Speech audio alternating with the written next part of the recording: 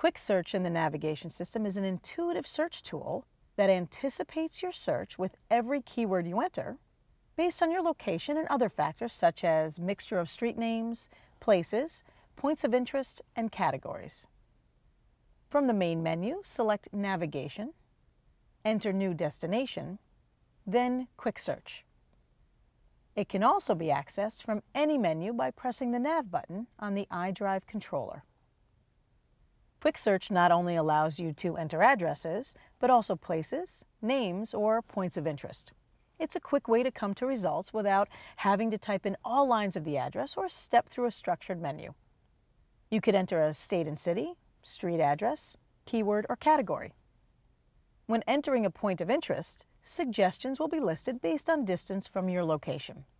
Select your choice and navigation will begin. The onboard navigation system gets automatic map updates every three months for streets, addresses, points of interest, and new route construction. These updates occur automatically over the air.